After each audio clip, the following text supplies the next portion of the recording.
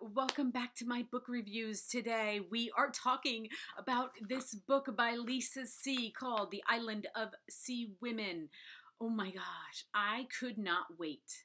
Couldn't wait to read this book, okay? It's already on the New York Times bestseller. It went there right away.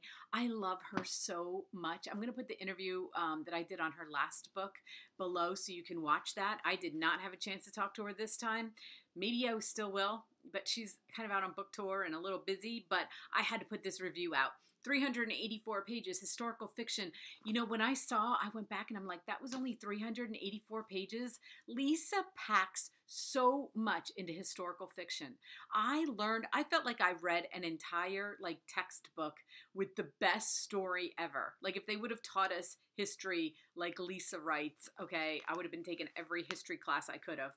Um, and I've read so many of her books, and I'm telling you, nobody does uh, her research. Nobody does their research like Lisa. Okay, we're talking this time about the Korean island of Jeju, and I know I'm saying it wrong, but I looked it up, and I'm going to show you on screen where that island is off of South Korea. Um, this book is about two women divers. These women would learn how to dive from i mean the whole story is about these women divers who learn from their moms and I did a little bit of research into it, even though the book really does tell you almost everything you want to know about it.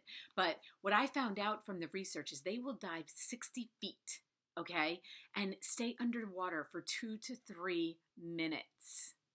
And if you don't think that's long, try holding your breath for that long, not being in water. Okay, it is long, but this story is about Mija, and I am butchering these names, so don't even criticize me on these names because my Pennsylvania Dutch accent does not do names well.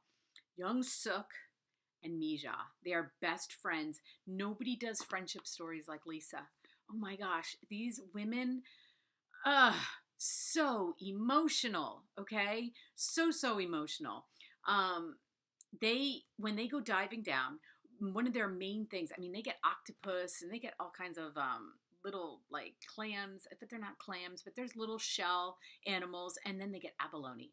And you'll see on the cover i'm going to show you this cover while i'm talking to you they have an instrument and maybe i can find a picture of this instrument. And what they do is they pick those abalone off rocks underwater okay? And if the abalone attach themselves to that rock, I mean, attach themselves to the rock with the knife underneath it, they die because they can't get up because those knives are attached to their bodies and they can't get them off. I'm just gonna let you pause and think about this for a minute because these are some badass women, okay? Oh, God. So, this book is about friendship and it's about forgiveness. Oh my gosh. I she had me so thinking about people in my life that you hold on to unforgiveness and you think you have a right to. And you think it's doing you good and you think you're you're like you have a good reason. Okay? And they had a lot of good reasons. Uh, you know, family and okay, and this book takes place that's another thing. She goes through the 40s, the 50s, the 60s, the 70s, present time covers it all so beautifully. As you can tell, I can't say enough good things about this book. I really can't. Like, you have to go get it. Look at the cover. It's absolutely beautiful. I love Lisa so much. Her first line, um, she says, she always writes, is the last line of the book. And it's not a giveaway, it's a breath, a breath, a breath. Uh, because, you know why? Because when they go diving, they take three short breaths, and on the fourth breath, they go under. And it's, oh my gosh, I can tear up talking about this book, okay? There is a reason it's on the New York Times bestseller. Go get it.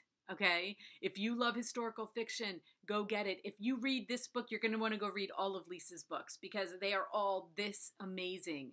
And um, I am so happy I read it. And I love you, Lisa, if you're watching this. I hope we get to talk again. You are amazing.